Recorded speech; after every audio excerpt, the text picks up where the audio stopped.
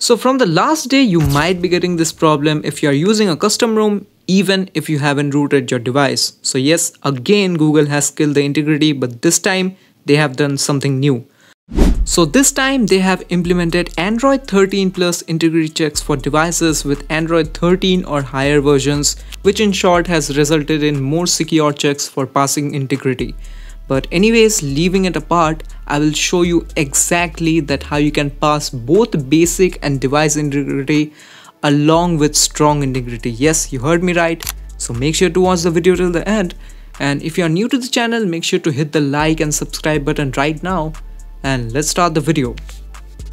So firstly, if you are on a AOSP based custom ROM which has spoofing features regarding play integrity, disable it. Yes, you heard me right you need to disable it from the settings like currently I'm on the Infinity X 2.5 and I have already disabled all the Google Play spoofing features so make sure to do the same if your ROM has it. Now once you have done it, your device must be rooted. Yes, you have to root your device either with Magisk or kernel SU. So if you haven't rooted your device yet, don't worry, I have already made a video regarding rooting your device with Magisk, so make sure to check it out from the i button. Now for the next step, if you are using Magisk, so you will need to open the Magisk app and then open its settings and hide the Magisk app from this option. Once you have done it, add a Magisk app shortcut to the home screen and then reopen the Magisk from this shortcut.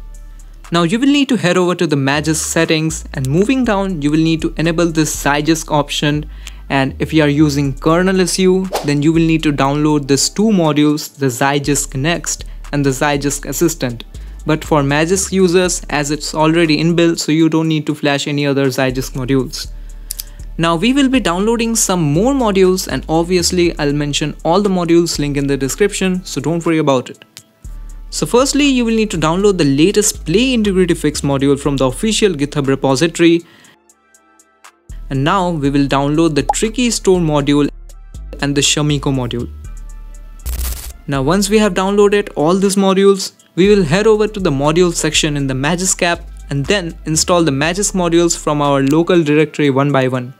Now obviously as we are using Magisk, so you don't need to install these two Zygisk modules.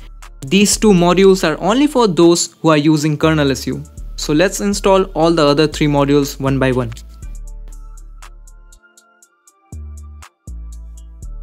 Now once we have installed the modules, we will be rebooting our device.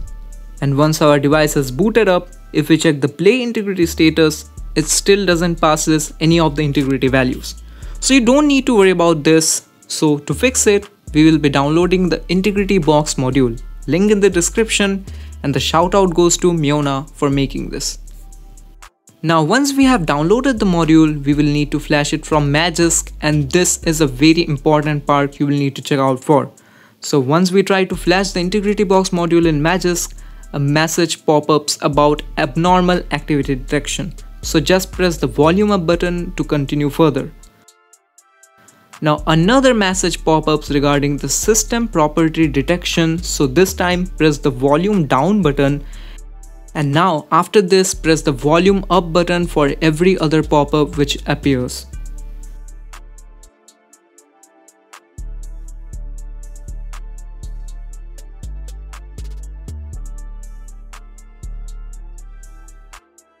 So as you can see that we have finally installed the integrity box module. So now let's reboot our device. Now once our device has booted, if we check the integrity status again, it still doesn't passes any integrity checks. So don't worry about it. To fix this, you will need to clear the Play Store data from the app info and now you will need to open the Magisk again and head over to the module section and then tap on this play button of this integrity box module and you will need to press the volume up button every time a message pop-ups.